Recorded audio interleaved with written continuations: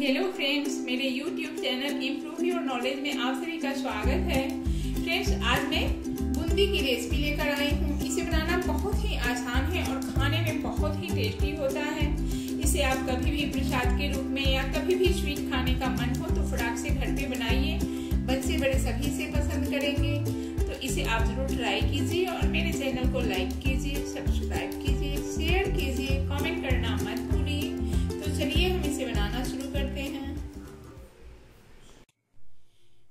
बनाने के लिए हमने एक बॉल बेसन लिया है, यानी कि चने का आटा। इंग्लिश में इसे ग्राम फ्लोर भी बोलते हैं। तो अब हम क्या करेंगे? सबसे पहले एक बोल पे ऐसे एक झरनी रख लेंगे। ये भी प्रोसेस बहुत ज़रूरी है बूंदी के लिए। इससे क्या होता है? बेसन में जो दाने दाने जैसे होते हैं, वो अच्छे से झाड़ने के बाद फूट जाते हैं, फिर तो इसकी घोल बनाने में बहुत आसानी होती है। तो आप देख सकते हैं, हम चम्मच की मदद से ऐसे बेसन झाड़ ले रहे हैं।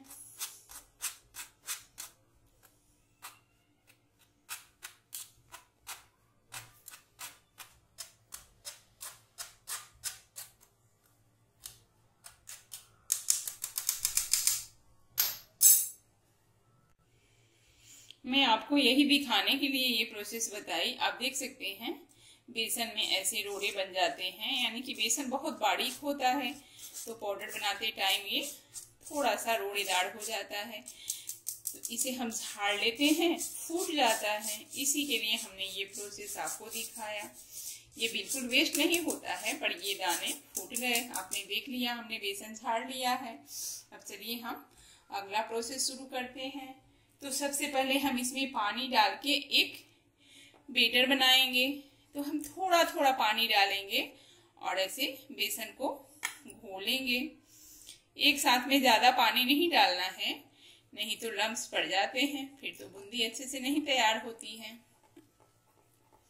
तो ऐसे हम थोड़ा थोड़ा पानी डाल के और इसका बेटर तैयार करेंगे।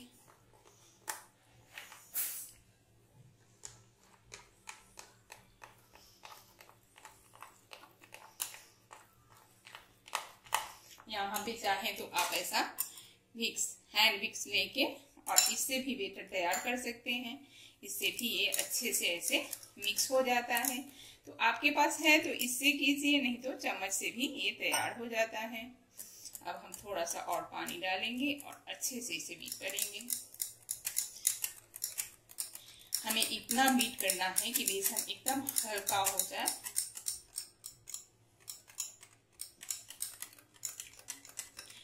हमने बेसन को अच्छे से फेंटा है।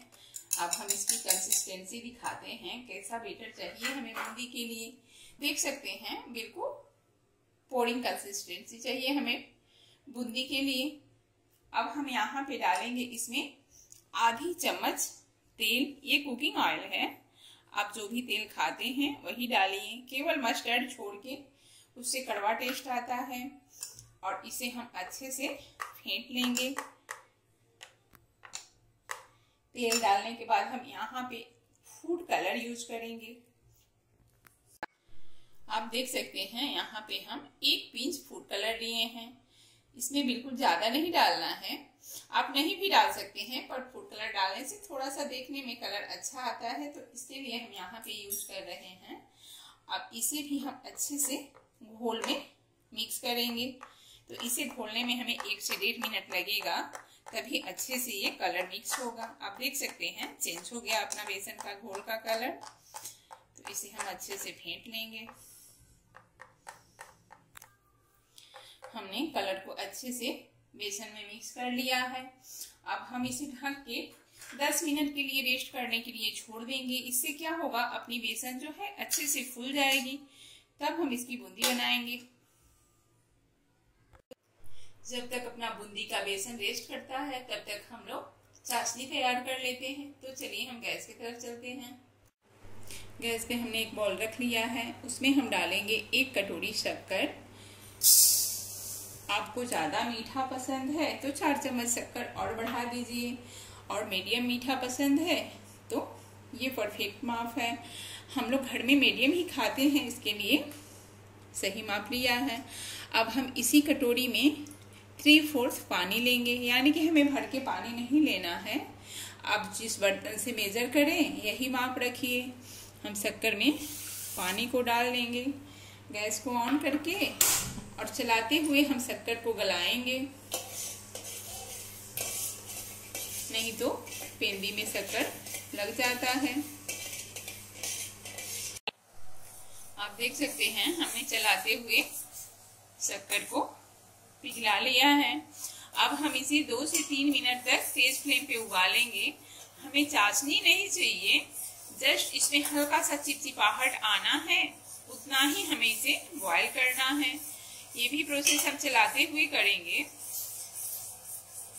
ये तीन से चार मिनट में हो जाता है। अपने फ्लेम के ऊपर होता है। तो चलिए हम आपको तीन मिनट बाद मिल के बताते हैं। आपने देख लिया, हमने तीन मिनट तक चाशनी को उबाल लिया है। तो यहाँ पे मैं एक बार आपको बता देती हूँ, चम्मच को हमने ठंडा होने दिया, हाथ को ऐसे चाशनी में डुबोया उंगली को, फिर ऐसे बस ये लस लस लग रहा है, यानी कि जैसे अपना मध लगता है, वैसे ही चिपचिपा हुआ है, कोई तार नहीं बन रही है। तो बस ऐसी ही चाशनी चाहिए हमें बूंदी के लिए। अब हम इसमें डालेंगे पीच। अब हम इसमें डालेंगे एक पिंच फ़ूड कलर यहाँ पे आप केसर भी डाल सकते हैं, पर फ़ूड कलर से कलर थोड़ा बढ़िया आता है। हमें कैमरे में दिखाना है तो हम फ़ूड कलर यूज़ कर रहे हैं। आप देख लीजिए, अपनी चाशनी का कलर कितना बढ़िया हुआ है। अब हम इसमें डालेंगे दो कूटी हुई इलायची, और इसे भी अच्छे से मिक्स कर लेंगे। चाशनी अपनी तैयार है, हम फ्लेम को ऑफ़ कर लेंगे और चलिए हम बूंदी बनाना शुरू करते हैं। दस मिनट हो चुके हैं, चलिए हम अपना बूंदी का बेटर चेक कर लेते हैं। तो आप देख सकते हैं, अपनी बेटर अच्छे से फूल चुकी है और ये अच्छी कंसिस्टेंसी में आ गई है। अगर आपकी बेटर गाढ़ी हो तो एक चम्मच पानी डाल के फिर से खोल लीजिए अगर अच्छी है तो बस ऐसे ही चाहिए हमें। तो चलिए, अब हम इसे झाड़ना बताते हैं। तो आपको यहाँ पे एक और बात बताना चाहूँगी। बूंदी बनाने के लिए हमें कैसे झाड़े की ज़रूरत होती है? हमने ये झाड़ा लिया है। ऊपर से तो ये बिल्कुल चिकना है, पर पीछे की तरफ़ ये थोड़ा सा पॉइंटेड है, ये आपको दिखा देती हूँ। यही तरीका है कि अपनी बूंदी हलवाई जैसे गोल गोल तैयार होती है। यहाँ पे आप चाहें तो कद्दूकस का भी यूज़ कर सकते हैं, पर मेरे पास ऐसा झाड़ा अवेलेबल है तो मैं इससे बना के आपको दिखाती हूँ। तो चलिए हम गैस की तरफ़ चलते हैं। तेल को हमने गैस पे गरम होने के लिए रख दिया था। तेल अपनी गरम हो चुकी है। तो तेल को हम कैसे चेक करेंगे? ऐसे हाथ को इसके ऊपर रखेंगे। आपके हाथ में हल्की सी हीट आनी चाहिए, क्योंकि हमें ज़्यादा भी गर्म तेल नहीं चाहिए और ज़्यादा ठंडा भी नहीं चाहिए। अब हम इसके ऊपर ये झाड़ा रखेंगे। और बोल में से हम एक छोटी कटोरी हो या कोई चम्मच हो, उसमें से बेटर लेंगे और इसके बीचों बीच डाल देंगे। आप देख सकते हैं, हमने झाड़ा की दूरी न ज़्यादा ऊँचा रखा है, न ज़्यादा नज़दीक। और कितनी बारीकी से ये बूंदी गिर रहा है, बिल्कुल गोल गोल हलवाई के जैसे। हमें इसे न ठक ठक करने की ज़रूरत पड़ रही है और न ही हमें इसे हिलाने की। तो एक बार में जितनी बूंदी आ सके अपनी कड़ाही में उतना हम डालेंगे और फिर हम इस झाड़े को ऐसे हटा लेंगे। तो आप देख सकते हैं कितनी बढ़िया अपनी बूंदी तैयार हुई है।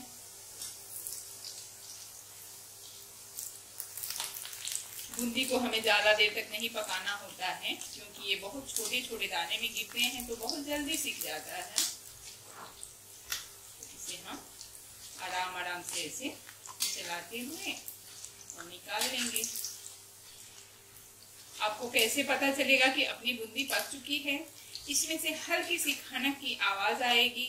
आपको चलाने में भी हल्का दिखेगा तो आप समझ जाइए कि अपनी बूंदी अच्छे से तैयार हो चुकी है। आप देखिए, कितनी गोल गोल कलर इसका देखिए। तो ये अपनी बूंदी तैयार है। इसे हम एक्स्ट्रा तेल गिराते हुए और एक प्लेट में निकाल लेंगे। ऐसे हम ढाड़े से इसको छान के एक्स्ट्रा तेल गिरा के प्लेट में निकाल लेंगे। यहाँ पे मैं आपको दूसरा टिप्स बताना चाहूँगी। अगर हम दूसरी बार बूंदी डाल रहे हैं, चाहे कोई भी छाड़ा हो या कद्दूकस हो, उसको हम अच्छे से पहले पीछे से क्लीन कर लेंगे। अब देख लीजिए, हमने झाड़े को अच्छे से पीछे से क्लीन कर लिया है। फिर हम इसको तेल पे ऐसे रखेंगे और दूसरी कटोरी से हम थोड़ा थोड़ा बेटर इस पे गिराते जाएँगे। अब देखिए कितनी आसानी से अपनी बूंदी गिर रही है।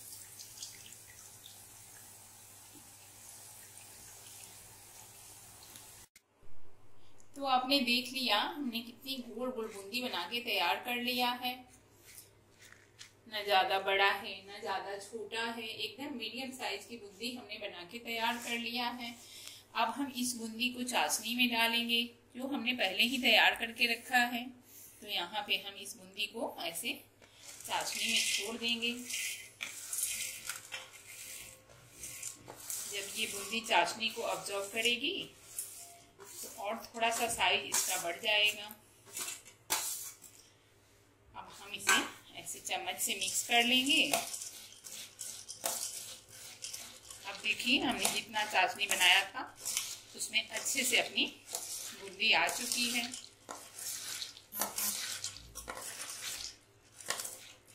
इसका कलर देखिए, कितना बढ़िया आया है। अब हम इसे ढक के 10 मिनट के लिए छोड़ देंगे। फिर आपको दिखाएँगे। तो चलिए हम बूंदी सर्व कर लेते हैं। मैं आपको दिखा दे रही हूँ। अपनी बूंदी ने अच्छे से रस को ऑब्ज़र्व कर लिया है। और एकदम रस्सेदार बूंदी तैयार हुई है। आप ध्यान से देख लीजिए। बिल्कुल होटल जैसे। आप इसको प्रसाद के लिए बनाइए। या बच्चों को खिलाने के लिए बनाइए। ये बहुत ही टेस्टी रस भरी बूंदी तैयार हुई है। तो चलिए हम इसकी प्लेटिंग कर लेते हैं। तो फ्रेंड्स आपने देख लिया बूंदी की रेसिपी बनाना कितना आसान है। हमने कितनी आसानी से घर पे बूंदी बना के तैयार किया। तो इस रेसिपी को आप भी ज़रूर ट्राई कीजिए और मेरे चैनल को लाइक कीजिए सब्सक्राइब कीजिए शेयर कीजिए और कमेंट करना मत भूलिए।